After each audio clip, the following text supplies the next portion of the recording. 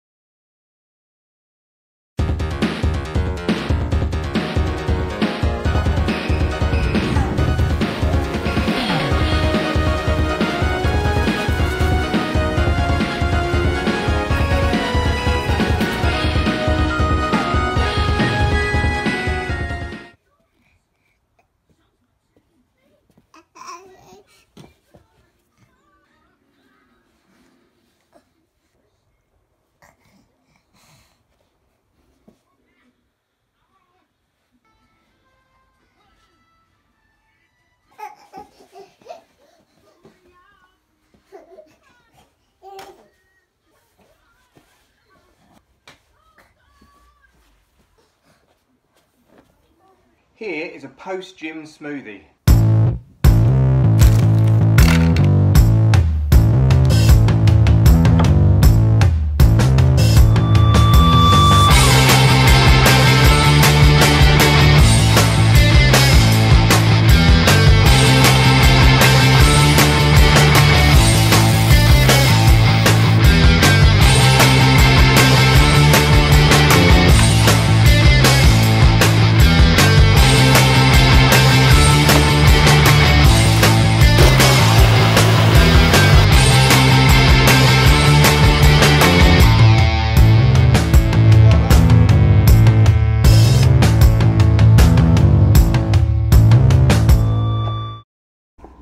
Hello, it's Monday morning.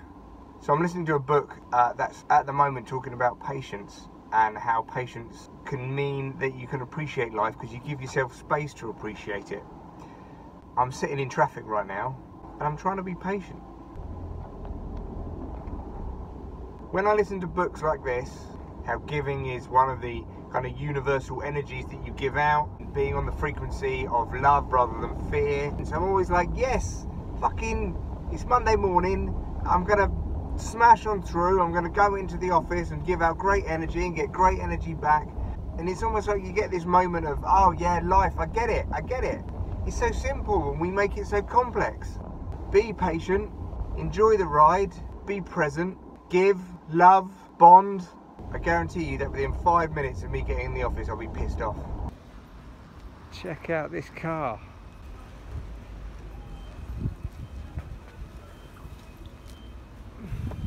That is cool.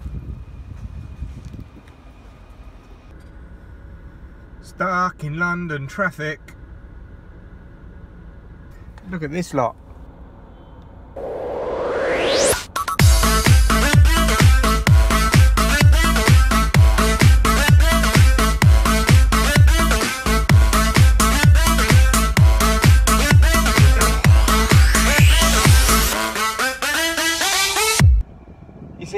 England game is on, and I've got to go to my comedy course.